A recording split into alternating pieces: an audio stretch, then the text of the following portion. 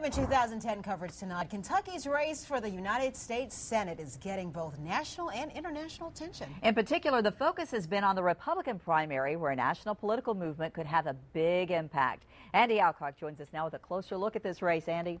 Vicki and Carissa political newcomer Dr. Rand Paul has aggressively campaigned to get the support of the Tea Party movement. He's squaring off against Kentucky Secretary of State Trey Grayson, who's campaigning on his experience and record. But there's a Tea Party tidal wave coming. Dr. Rand Paul addressed hundreds of people at the Louisville Tea Party event last month. Supporters of the national movement believe federal lawmakers are spending too much money they don't have. National attention is focused on Kentucky's Senate race because Paul, the son of former Congressman and presidential candidate Ron Paul, is aggressively seeking Tea Party support. It's an enormous influence, and I think if I win, I'll be the biggest victory for a Tea Party candidate in the country.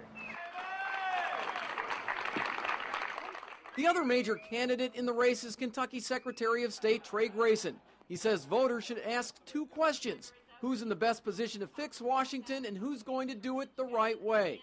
And if I think if you look at my record and my views, you're going to answer affirmatively for me in both those areas. While both men say federal spending needs to be cut, they have different approaches. You know, the stimulus artificially inflated discretionary spending, and I'd like to see go back at least to a freeze. Well, there's no constitutional mandate for education at the federal level, so I don't think there should be a Department of Education. Grayson has also attacked Paul for proposing to raise the retirement age for Social Security eligibility and stating he wouldn't have voted to create Medicare. Especially the Medicare statement is uh, just something I completely disagree with. Because I will vote to preserve Medicare and Social Security and try to allow them to continue to function.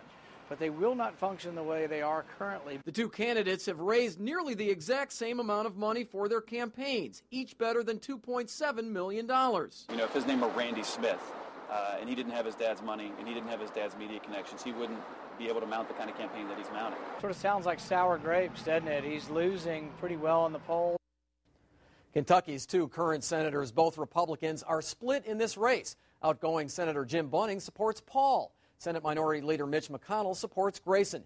When asked in a recent debate if he would support McConnell for Republican Senate leader in the next Congress, Paul would not commit if McConnell had an opponent. Grayson says he'd vote for McConnell.